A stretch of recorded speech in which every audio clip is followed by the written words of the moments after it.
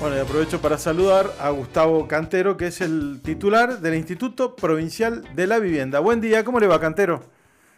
¿Qué hace, Gabriel? Buen día, gracias por, el espacio, como siempre digo. Bueno, gracias, gracias por estar. La verdad es que nos, nos llegan muchísimas inquietudes de parte de la audiencia con respecto al tema vivienda. y a mí me, me, quedó picando algo que dijo el gobernador los otros días, ¿no? En la entrega de casas, que es que eh, es el único lugar donde la gente le pide casas a los políticos, sino a los bancos. Claro, y hay una costumbre, yo me acuerdo cuando era chico, esperábamos anotados en el IPB 15, 20 años hasta que te tocaba, era la única posibilidad, ¿no? Este, después estaba el banco hipotecario en aquel momento.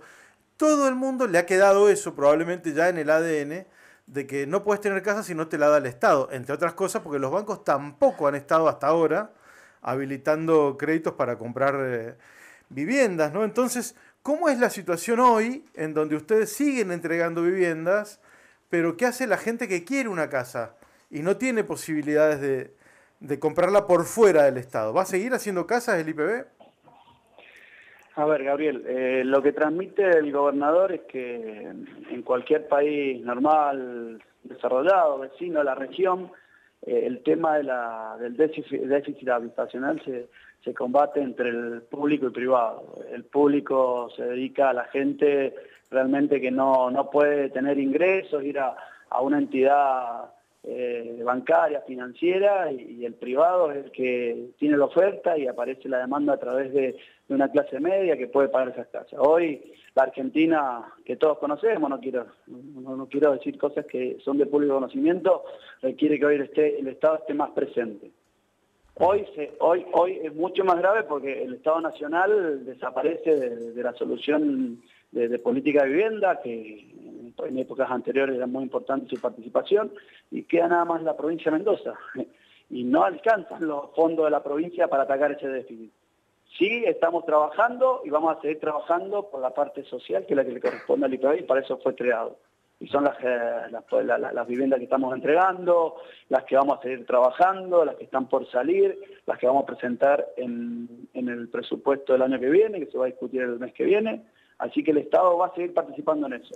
Ahora, Invitamos a los privados a que arriesguen.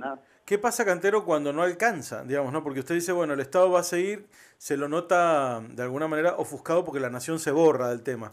Pero, ¿qué pasa cuando no terminan de, de, cubrir la demanda y la gente les reclama más y más y más? Entonces, por más que ustedes se esfuercen muchísimo, la gente les va a seguir endilgando que no hacen todo lo que les hace falta, ¿no?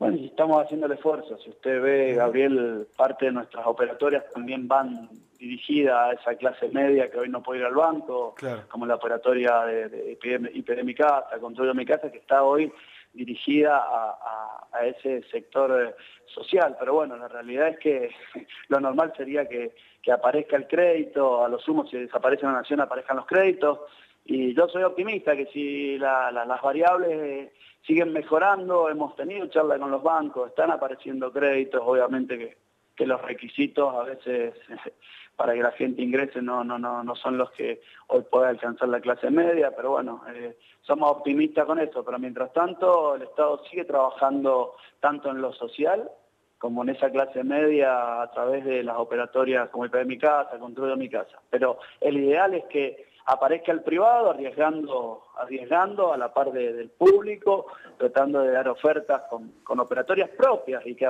aparezca el banco y le financie a, la gente que compre esas viviendas. Pero bueno, la realidad marca que hoy el Estado no se puede salir, pero bueno, lamentablemente está la provincia de Mendoza y el presupuesto, además de vivienda, está escuela, seguridad, caminos y otros tipos de obras que también hay que atender. Así que que la gente pedimos un poco de paciencia, el Estado está y uno ve diariamente lo que vamos entregando, especialmente desde el IPB, Gabriel.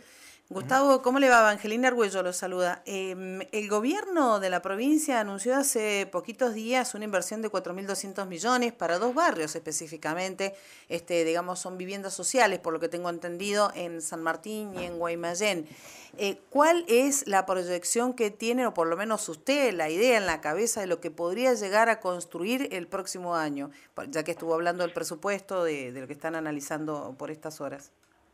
Bueno, el número yo no voy a dar porque eso ya la semana que viene, principio de octubre, va a estar el ministro de Hacienda viendo a la legislatura para presentar el presupuesto, pero como dice el gobernador, la intención es seguir trabajando en ese plan social, que es la línea 1, que es la que anunciamos estos dos barrios que dice usted, que es la que trabajamos con los municipios. El municipio aporta terreno, es el que hace el análisis del beneficiario a través del RENAVIP y hoy estamos focalizados en ese tipo de operatorios. La cantidad va a depender de, lo que se apruebe a través de, ahora de la Cámara de Diputados y Senadores, cuando esté aprobado el presupuesto y cuando tengamos los números claros saldremos a, charlar con ustedes y explicarle bien cuál va a ser la política de vivienda del año que viene. Y en, y en ese caso son las personas que se han anotado para tener una casa en los municipios.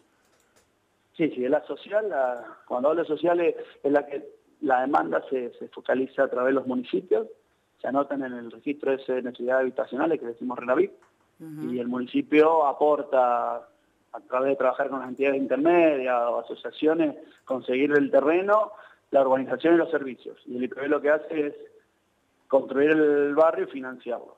Esa es la política que hoy estamos empezando y bueno, veremos a ver eh, función de que se, lo que se apruebe en el presupuesto, tendremos cantidad de, viviendas ejecutadas en la vivienda. Cantero, buen día, Hernán Vitar lo saluda. Eh, le consulto por el programa Construyo mi casa y cuántos interesados reales tiene este programa. Digo, pensando en que es una posibilidad de ahorro previo, que es quizás eh, la chance para pensar en, una suerte de ahorro y, y, de finalmente hacerse propietario. Digo, ¿está funcionando el programa? ¿Está activo? ¿Hay, hay interés? Dan los salarios para poder finalmente también hacer ese ahorro previo o, piensan reformarlo quizás en el futuro? Se está analizando también ese programa, eh, dentro del IPB es uno de los que mejor funciona, obviamente que está, eh, está dirigido a, gente que tiene ingresos por arriba de tres salarios, pero el que menos mora tiene, el que más rápido se cancela. Y tenemos demanda, vamos a analizar también en función de los fondos eh, tratar de, mantenerlo, pero como le digo, la idea es tratar de trabajar con los bancos de forma que sea el banco que dé crédito. Nosotros focalizándonos en, lo social, ¿ah? tratar, hay, mucha demanda de, gente que hoy no, no, no puede ni, ni, llegar a, una casa del IPB, entonces hoy estamos trabajando y focalizados en eso. Pero sí es verdad que el Construir Mi Casa es uno de los programas más exitosos del IPB, con poca mora y con con aproximadamente unos 150 créditos por año que se entregan. ¿Qué resultados han obtenido con esta prórroga que, estableció por ley el gobierno para que todos aquellos que tienen deudas eh, de las cuotas del IPB eh, antes del 2017 regularicen su situación? Digo, ¿cuál ha sido la respuesta de los deudores y, y el recupero que han tenido? A ver, esa ley se promulgó el mes pasado, se se publicó en el boletín hará unos 15 días y ahora a partir del 1 de octubre ya va a estar eh, ya va a estar para que empecemos a trabajar a todos eso, así que los resultados tendremos, digamos, a fin de año, ya después de unos meses de que esté eh, en la calle, tendremos resultados y podremos charlar. Eh, lo que yo le puedo decir es que el anterior fue un éxito, según, mi, forma de ver, el 60% de los que pudieron ingresar, los que pudieron eh, ingresar se regularizaron y, bueno, eh, creemos que esto va a permitir, como decimos siempre, achicar la cartera, una cartera que, es la que se actualiza por CBS y financia el 90% de la recaudación del IPB. Así que el objetivo, como digo siempre, es tratar de ser eficiente en el manejo del dinero público, que es lo, que estamos acá en la función. ¿Cuál es la cuota más bajita que, que tiene el IPB por casas que ha entregado hace años atrás? Bueno, pasa que uno a veces dice el número y es un número irrisorio, estamos hablando de 30 pesos, pero acuérdense que son créditos que se hicieron en la época de la convertibilidad, eh, que eran a tasa cero, entonces eh, el número se ha ido licuando y hoy... Claro, pero le pregunto, ¿hay deudores que, tienen toda, que, deben teniendo esa cuota? Sí, señora. Pero bueno, era otra época donde eh, el Estado Nacional hacía política también partidaria, o no política partidaria, política de vivienda con un concepto de entregar vivienda a los más necesitados. Recordémonos que esa gente no es gente que hoy eh, tiene unas condiciones eh, económicas y sociales como para poder pagar eso. Regalaban casa. Claro. 30 pesos no valen un caramelo hoy. Bueno, hoy son 30 dólares. Pero, a ver, Cantero, una duda que tengo. ¿Puede ser rentable el IPB puede ser un negocio el tema de las viviendas para, para la provincia, digo, articular con los privados para que inviertan y a su vez que la provincia tenga un recupero más alto, más allá del rol social, que lo entiendo y es histórico en la Argentina. Después podemos analizar si es conveniente o no que sea que tenga todavía ese rol social, pero eh, no se puede reformular en algún punto para que fomente quizás la, la construcción y que le dé otro dinamismo al sector desde la provincia. Digamos que hoy el IPB no fue creado con ese objetivo. ¿ah? Hoy está cumpliendo ese rol porque no, no hay banco provincial, la, nación no está. Sería a mí como, como presidente del IPB me gustaría, pero no es el objetivo del IPB. El objetivo del IPB es hacer eh, eh, política de vivienda para la gente que realmente más lo necesita y destinar dineros públicos de la recaudación para solucionar ese tema, y no como hoy que atendemos también a una clase media que, tiene ingresos pero no puede ir a un banco. Pero esa es una discusión que se tendría que dar a nivel gobierno, no, no, no la quiero dar yo porque no me corresponde eh, y como digo, tengo que adaptar a lo que, a lo que, a la ley que, con la que se creó el IPB, que es atender a los más necesitados. Sí, está muy interesante, se nos acaba el tiempo, pero me queda una pregunta, que es si no han pensado en, en, en las viviendas industrializadas, hay empresas mendocinas trabajando en Centroamérica a las que les va muy bien y son mucho más baratas y por otra parte pueden participar los propios interesados en su casa, digamos, gente que no tiene laburo, eh, se le dan las placas y que construya su propia casa y con eso paga parte del costo. ¿Eso lo han considerado en algún momento? A ver, en las licitaciones que vamos a empezar a sacar, nosotros vamos a permitir que los sistemas constructivos sean todos los que estén aprobados en la provincia de Mendoza. Y cuando hablamos de todos, hablamos todos estos sistemas nuevos de construcción, eh, que todos conocemos, eso que usted nombra, eh, y de otras marcas que no quiero decir, pero eh, el IPB va a abrir la construcción de vivienda a los sistemas que existen en Mendoza y que compitan.